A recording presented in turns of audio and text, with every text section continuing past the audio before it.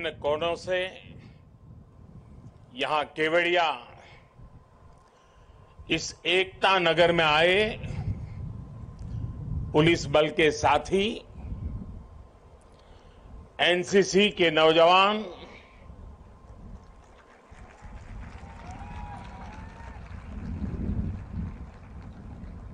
कला से जुड़े हुए सारे आर्टिस्ट देश के विभिन्न हिस्सों में एकता दौड़ रन फॉर यूनिटी में शामिल हो रहे नागरिक भाई बहन देश के सभी स्कूलों के छात्र छात्राएँ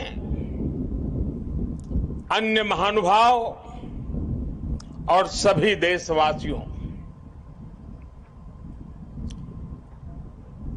मैं एकता नगर में हूँ। पर मेरा मन मोरबी के पीड़ितों से जुड़ा हुआ है।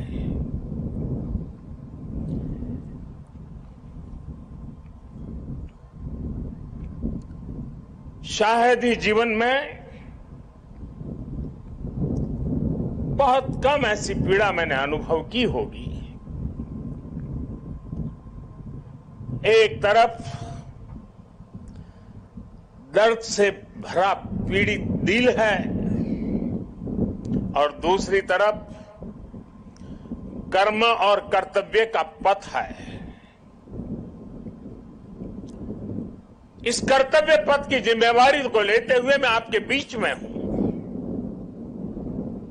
लेकिन करुणा से भरा मन उन पीड़ित परिवारों के बीच में है। हादसे में जिन लोगों को अपना जीवन गंवाना पड़ा है, मैं उनके परिवारों के प्रति अपनी संवेदना व्यक्त करता हूँ। दुख की इस घड़ी में सरकार हर तरह से पीड़ित परिवारों के साथ है। गुजरात सरकार पूरी शक्ति से कल शाम से ही राहत और बचाव कार्यों में जुटी हुई है। केंद्र सरकार की तरफ़ से भी राज्य सरकार को पूरी मदद दी जा रही है। बचाव कार्य में एनडीआरएफ की टीमों को लगाया गया है। सेना और वायुसेना भी राहत के काम में जुटी हुई है। जिन लोगों का अस्पताल में इलाज चल रहा है, वहाँ भी पूरी मुस्तैदी बरती जा रही है। लोगों की दिक्कतें कम से कम हो, इसे प्राथमिकता दी जा रही है। हादसे की खबर मिलने के बाद ही गुजरात के मुख्यमंत्री श्रीमान भूपेंद्र भाई रात को ही मोरबी पहुँच गए थे। कल से ही वो राहत और बचाव के कार्यों की कमान संभाले हुए हैं। राज्य सरकार की तरफ़ से इस हादसे की जाँच के लिए एक कमेटी भी बना दी गई है। मैं देश के लोगों को आश्वस्त करता हूँ कि राहत और बचाव के कार्यों में कोई कमी नहीं आने दी जाएगी। आज राष्ट्रीय एकता दिवस का ये अवसर भी हमें एकजुट होकर इस मुश्किल घड़ी का सामना करने, कर्तव्य पथ पर बने रहने की प्रेरणा दे रहा है। कठिन से कठिन परिस्थितियों में सरदार पटेल का धैर्य, उनकी तत्परता से सीख लेते हुए हम काम करते रहे, आगे भी करते रहे। साथियों, वर्ष 2022 में राष्ट्रीय एकता दिवस का बहुत विशेष अवसर के रूप में मैं इसे देख रहा हूँ। ये वो वर्ष है जब हमने अपनी आज़ादी के 75 वर्ष पूरे किए हैं। हम नए संकल्पों के साथ आगे बढ़ रहे हैं। आज एकता नगर में ये जो परेड हुई है हमें इस बात का एहसास भी दिला रही है कि जब सब एक साथ चलते हैं, एक साथ आगे बढ़ते हैं तो असंभव को भी संभव बनाया जा सकता है।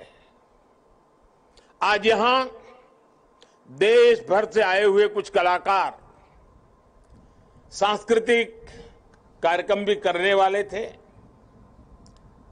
भारत के विविध नृत्यों को भी प्रदर्शित करने वाले थे।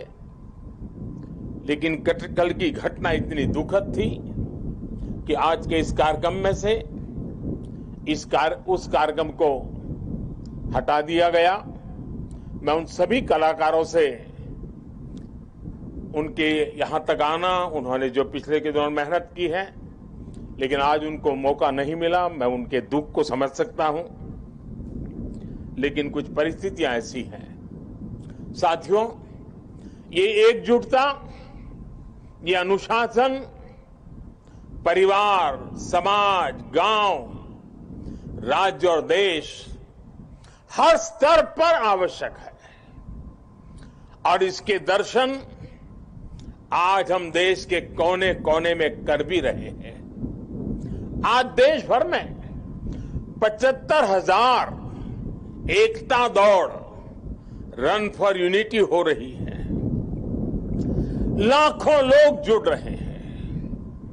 देश का जन जन लोह पुरुष, सरदार वल्लभ भाई पटेल की संकल्प शक्ति से प्रेरणा ले रहा है।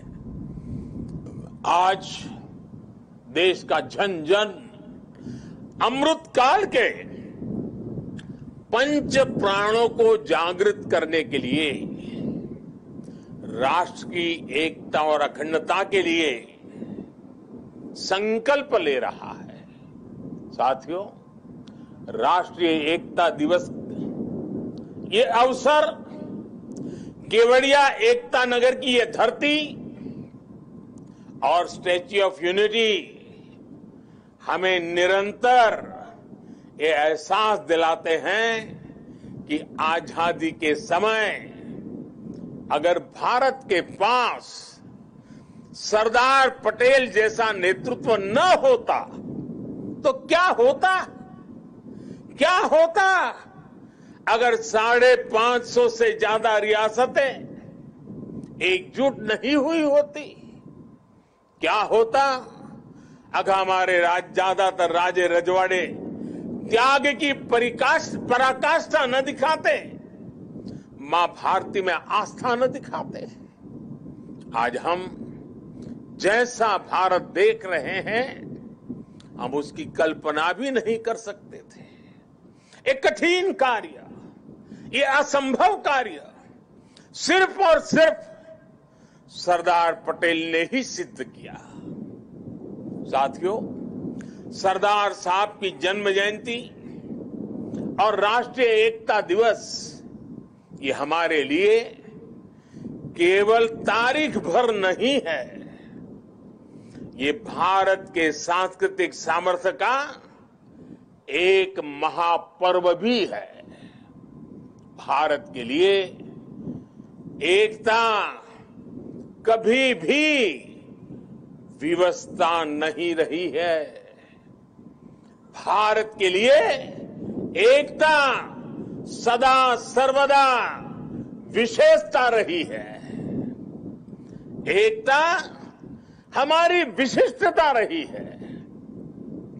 एकता की भावना भारत के मानस में, हमारे अंतर्मन में कितनी रची बसी है।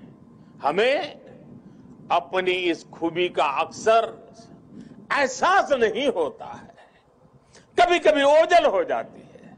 लेकिन आप देखिए, जब भी देश पर कोई प्राकृतिक आपदा आती है तो पूरा देश एक साथ खड़ा हो जाता है। आपदा उत्तर में हो या दक्षिण में, पूरब में हो या पश्चिमी हिस्से में, ये मायने नहीं रखती है। पूरा भारत एकजुट होकर सेवा, सहयोग और संवेदना के साथ खड़ा हो जाता है। कल ही देख लीजिए ना, मोरबी में हादसा हुआ। उसके बाद हर एक देशवासी हादसे का शिकार हुए लोगों की सुरक्षा के लिए प्रार्थना कर रहा है। स्थानीय लोग हादसे की जगह पर अस्पतालों में हर संभव मदद के लिए खुद आगे आ रहे हैं। यही तो यही तो एकजुटता की ताकत है। कोरोना का इतना बड़ा उदाहरण भी हमारे सामने है। ताली थाली की भावनात्मक एकजुटता से लेकर राशन, दवाई और वैक्सीन के सहयोग तक देश एक परिवार की तरह आगे बढ़ा। सीमा पर या सीमा के पार जब भारत की सेना शौर्य दिखाती है तो पूरे देश में एक जैसे जज्बात होते हैं, एक जैसा जज्बा होता है। जब ओलंपिक्स में भारत के युवा तिरंगे की शान बढ़ाते हैं तो पूरे देश में एक जैसा जश्न जश्न मनता है। जब देश क्रिकेट का मैच जीतता है तो देश में एक जैसा जुनून होता है। हमारे जश्न के सांस्कृतिक तौर तरीके अलग अलग होते हैं, लेकिन भावना एक जैसी ही होती है। देश की ये एकता, ये एकजुटता, एक दूसरे के लिए अपनापन, ये बताता है कि एक राष्ट्र के रूप में भारत की जड़ें कितनी गहरी है। और साथियों भारत की यही एकता हमारे दुश्मनों को खटकती है। आज से नहीं, बल्कि सैकड़ों वर्षों पहले, गुलामी के लंबे कालखंड में भी, भारत की एकता हमारे दुश्मनों को चूपती रही है। इसलिए गुलामी के सैकड़ों वर्षों में, हमारे देश में, जितने भी विदेशी आक्रांत आए उन्होंने भारत में विभेद पैदा करने के लिए हर मुमकिन कोशिश की। उन्होंने भारत को बांटने के लिए, भारत को तोड़ने के लिए सब कुछ किया। हम फिर भी उसका मुकाबला कर सके, क्योंकि एकता का अमृत हमारे भीतर जीवंत था। जीवंत धारा के रूप में बह रहा था। लेकिन वो कालखंड लंबा था। जो जहर उस दौर में घोला गया, उसका नुकसान देश आज भी भुगत रहा है। इसलिए ही हमने बंटवारा भी देखा और भारत के दुश्मनों को उसका फ़ायदा उठाते भी देखा। इसलिए हमें आज बहुत सावधान भी रहना है। अतीत की तरह ही भारत के उत्कर्ष और उत्थान से परेशान होने वाली ताकतें आज भी मौजूद है। वो आज भी हमें तोड़ने की, हमें बांटने की हर कोशिश करती है। हमें जातियों के नाम पर लड़ाने के लिए तरह तरह के नैरेटिव गढ़े जाते हैं। प्रांतों के नाम पर हमें बांटने की कोशिश होती है। कभी एक भारतीय भाषा को दूसरी भारतीय भाषा का दुश्मन बनाने के लिए कैंपेन चलाए जाते हैं। इतिहास को भी इस तरह पेश किया जाता है ताकि देश के लोग जुड़े नहीं, बल्कि एक दूसरे से दूर हो। और भाइयों बहनों, इसे एक और बात हमारे लिए ध्यान रखनी आवश्यक है। ये ज़रूरी नहीं है कि देश को कमज़ोर करने वाली ताकत हमेशा हमारे खुले दुश्मन के रूप में ही आए। कई बार ये ताकत गुलामी की मानसिकता के रूप में हमारे भीतर घर कर जाती है। कई बार ये ताकत हमारे व्यक्तिगत स्वार्थों के ज़रिए सेंधमारी करती है। कई बार ये तुष्टिकरण के रूप में, कभी परिवारवाद के रूप में, कभी लालच और भ्रष्टाचार के रूप में दरवाजे तक दस्तक दे देती है, जो देश को बांटती और कमज़ोर करती है। लेकिन हमें उन्हें जवाब देना होगा। हमें जवाब देना होगा भारत माँ के संतान के रूप में। हमें जवाब देना होगा एक हिंदुस्तानी के रूप में। हमें एकजुट रहना होगा, एक साथ रहना होगा। विभेद के जहर का जवाब हमें एकता के इसी अमृत से देना है। यही नए भारत की ताकत है। साथियों, आज राष्ट्रीय एकता दिवस पर मैं सरदार साहब द्वारा हमें सौंपे दायित्व को फिर दोहराना चाहता हूँ। उन्होंने हमें ये ज़िम्मेदारी भी दी थी कि हम देश की एकता को मज़बूत करें। एक राष्ट्र के तौर पर देश को मज़बूत करें। ये एकता तब मज़बूत होगी जब हर नागरिक एक जैसे कर्तव्य बोध से ये ज़िम्मेदारी संभालेगा। आज देश इसी कर्तव्य बोध से सबका साथ, सबका विकास, सबका विश्वास और सबका प्रयास इस मंत्र को लेकर विकास के मार्ग पर आगे बढ़ रहा है। आज देश में, हर कोने में, हर गाँव में, हर वर्ग के लिए और हर व्यक्ति के लिए बिना भेदभाव के एक जैसी नीतियाँ पहुँच रही है। आज अगर गुजरात के सूरत में सामान्य मानवी को मुफ़्त वैक्सीन लग रही है तो अरुणाचल के सियांग में भी उतनी ही आसानी से मुफ़्त वैक्सीन उपलब्ध है। आज अगर एम्स गोरखपुर में है तो बिलासपुर, दरभंगा और गुवाहाटी और राजकोट समेत देश के दूसरे शहरों में भी है। आज एक और तमिलनाडु में डिफेंस कॉरिडोर बन रहा है तो उत्तर प्रदेश में भी डिफेंस कॉरिडोर का काम तेज़ी से आगे बढ़ रहा है। आज नॉर्थ ईस्ट की किसी रसोई में खाना बन रहा हो या तमिलनाडु की किसी सम्मिल अरई में खाना बन रहा हो, भाषा भले अलग हो, भोजन भले अलग हो, लेकिन माताओं बहनों को धुएँ से मुक्ति दिलाने वाला उज्ज्वला सिलेंडर हर जगह है। हमारी जो भी नीतियाँ है, सबकी नियत एक ही है।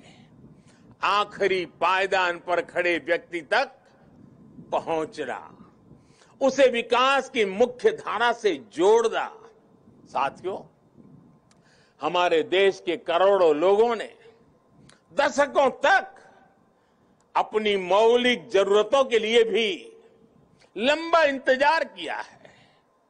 बुनियादी सुविधाओं के बीच की खाई जितनी कम होगी, उतनी ही एकता भी मज़बूत होगी। इसलिए आज देश में सेचुरेशन के सिद्धांत पर काम हो रहा है। लक्ष्य ये कि हर योजना का लाभ हर लाभार्थी तक पहुँचे।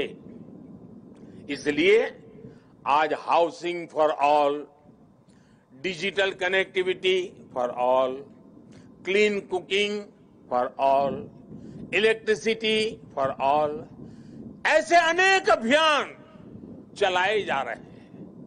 आज शत प्रतिशत नागरिकों तक पहुँचने का ये मिशन केवल एक जैसी सुविधाओं का ही मिशन नहीं है।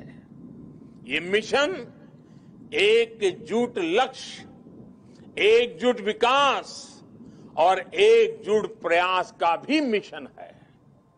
आज जीवन की मौलिक जरूरतों के लिए शत प्रतिशत कवरेज देश और संविधान में सामान्य मानवी के विश्वास का माध्यम बन रहा है।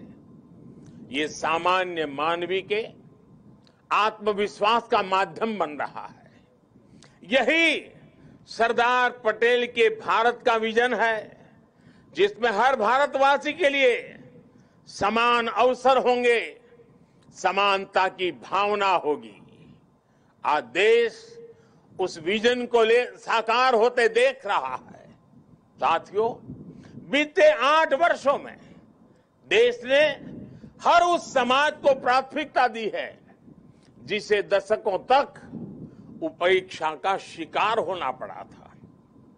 इसलिए देश ने आदिवासी के गौरव को याद करने के लिए जनजातीय गौरव दिवस मनाने की परंपरा शुरू की। देश के कई राज्यों में आदिवासी स्वातंत्र संग्राम में उनकी भूमिका उसको लेकर के म्यूज़ियम भी बनाए जा रहे हैं। कल मैं यहाँ मानगढ़ जाने वाला हूँ। उसके बाद मैं जामुगोड़ा भी जाऊँगा। मेरे देश मेरा देशवासियों से आग्रह है कि मानगढ़ धाम और जामुगोड़ा के इतिहास को भी ज़रूर जाने। विदेशी आक्रांतों द्वारा किए गए कितने ही नरसंहारों का सामना करते हुए हमें आज़ादी मिली है। आज की युवा पीढ़ी को ये भी सब जानना बहुत आवश्यक है। तभी हम आज़ादी की कीमत भी समझ पाएँगे, एकजुटता की कीमत भी जान पाएँगे।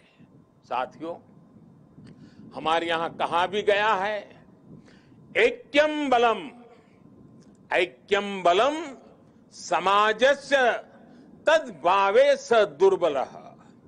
तस्मात ऐक्यम प्रशंसन्ति दृढ़ राष्ट्र हितेषण अर्थात किसी भी समाज की ताकत, उसकी एकता होती है।